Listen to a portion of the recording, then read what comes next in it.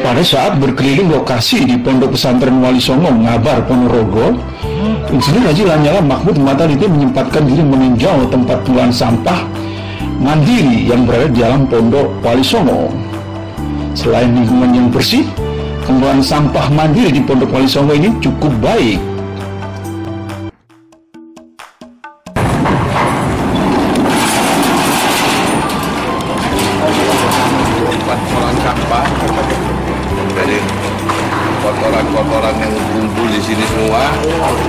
dikumpulkan diolah dibakar langsung tempat ini nah ini ya pengolahan sampah mandiri.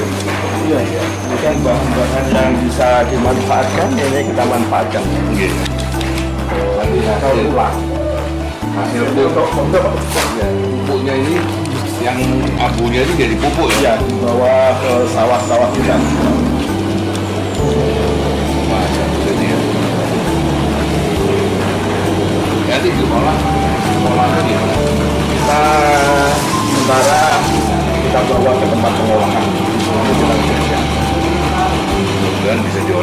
Juga ini. Iya, benar.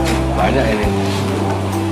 Jadi ini nggak nggak pernah padam, Mas. Setiap hari masuk. Gantian ya, santri-santrinya ya.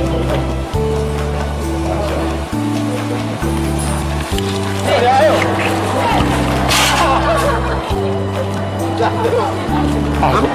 Ini tadi saya keliling dari semua dari pertama sampai terakhir di sini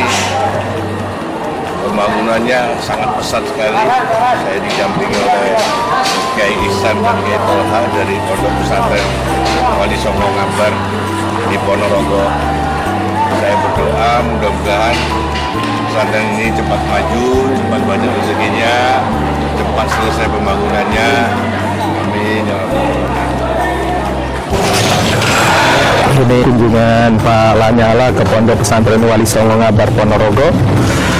Eh, kita berharap setelah mengenal Pak Lanyala memiliki kepribadian yang luar biasa. Beliau eh, insya Allah itu bisa kita jadikan pemimpin.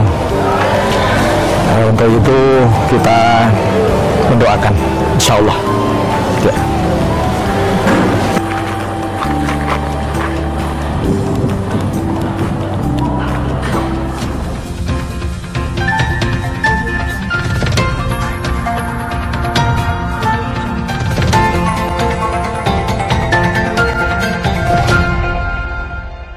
Jungle.